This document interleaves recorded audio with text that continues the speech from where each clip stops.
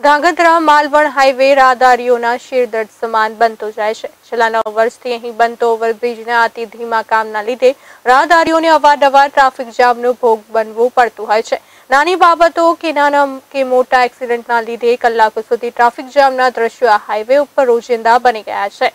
તેમજ છેલ્લા કેટલાક દિવસથી ટ્રાફિકની સમસ્યાથી કંટાળેલા ટ્રાફિકમાં અમદાવાદ તરફ જતા રાહદારીઓએ અર્ધનગ્ન બની એલએનટીના અધિકારીઓ ઉપર પોતાનો રોષ ઠાલવ્યો હતો. ઉલ્લેખનીય છે કે હાઈવેનું નિર્માણ, ટ્રાન્સપોર્ટેશન સરળ બને અને ઓછા સમયમાં સવલતો મળી શકે એના માટે હાથ ધરાતું હોય છે. પણ અહીંથી વિપરીત રોડ ઉપરનો હાઈવે લોકોનો અવારનવાર સમય બરબાદ કરી રહ્યો છે. ઉચ્ચ વહીવટી તંત્ર આ દિશામાં ક્યારેક કારાત્મક પગલાઓ સાથે પરિણામ આપી શકશે કે નહીં એ વિશે રાહદારીઓની મુખ્ય ચિંતા બન્યો છે.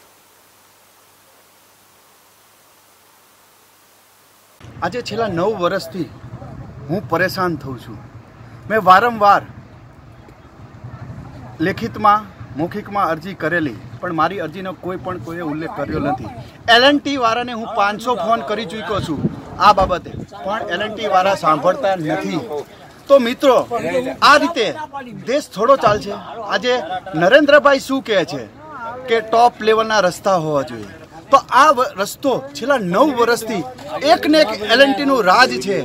રાજ છે એના કારણ કે કયો કેટલો ભ્રષ્ટાચાર કરવા માંગે છે એ ખબર નથી પડતી. અને જેમ તેમ ગાળું દેવામાં આવે છે, જ્યારે ફોન કરો તમારાથી થાય એમ કરી લો, તમારી સરકાર શું કરી લેશે તો મારે મિત્રો એ જ કહેવું છે કે આ એલએનટી પાછળનો ભેજું કોણ છે? આના પાછળનો કયો ચહેરો છે? તો આ નવ વર્ષથી પુલ નથી થતો, તો એનું નિરાકરણ નહીં આવે. આજે તો મેં મારી રીતે નિર્ણય કરીને મેં જભ્ભો ઉતારીને મારો નિર્ણય કર્યો છે. પણ સાત દિવસની અંદર જો કંઈ નહીં થાય, તો આવનારો મારો પ્રોગ્રામ ભયંકર હશે.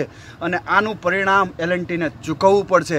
એલએનટીને ખુલ્લી ચેલેન્જ આપું છું. આ ભાવેશ દવે બોલે છે, હું તમારો ભ્રષ્ટાચાર નહીં કરવા દઉં અને કરેલો હશે તો એનો પડદા ફાંસ કરવાની મારી જવાબદારી હશે.